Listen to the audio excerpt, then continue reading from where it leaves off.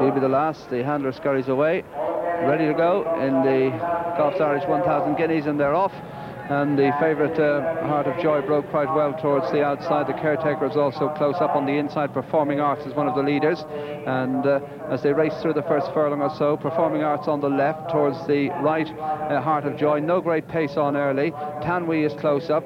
Wayne Harris looking uh, across there, and there's uh, no serious gallop at all in the early stages, with Performing Arts in the lead, followed by Habira in second, and they're followed in third place by Annie Laurie, and behind Annie Laurie on the outside, Tanwy with Needy Thatch, Amanata behind them on the inside, tracked by uh, Wedding Bouquet, and then the caretaker and Ring of Light, but it's Habira who leads them through. In the groove is the back marker at this stage, as they race down past the five furlong marker, and it's Habira, Performing Arts over on the far side.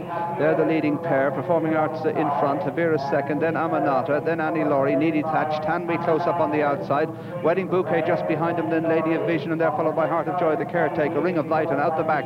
In the groove as they run down now towards the uh, three furlong marker, quickening the pace now, Performing Arts, Habira in second, Amanata three, and Tanwy four past the three furlong pole now. Performing Arts over on the far side is the leader from Habira. Then comes uh, Amanata. They're followed on the outside by Tanwy with Heart of Joy. In the groove begins her run on the wide outside. They're racing down towards the final furlong and Performing Arts over on the far side from Heart of Joy and in the groove up the centre of the track. They hit the furlong pole now. Performing Arts in the groove and Heart of Joy between horses in the groove on the near side. In the groove, Storms clear inside the last furlong chased by Heart of Joy as they race into the closing stages.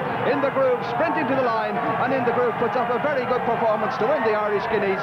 David Elsworth's first classic, Heart of Joy is second, Performing Arts is third, Lady of Vision has run a big race, may just have snatched fourth from the caretaker, then Annie Laurie, Amanata Tanwy, and they're followed in by Annie Laurie with Ring of Light and uh, together at the back Habira and Needy Thatch. A very, very slow pace uh, early on, but what a turn of foot that uh, in the groove produced uh, on the outside under Steve Cauthen a most impressive uh, display with uh, Heart of Joy having uh, every chance and Performing Arts who uh, tried to steal the race there over on the far side running a big race too. But uh, in the groove, owned by Brian Cooper, trained by David Elsworth, uh, has won the Goffs Irish 1,000 guineas. The judges called for a photo for the placings, but a very impressive display indeed. Ted, I think you'll agree. Yes, indeed. Steve Cauthen switched this filly off.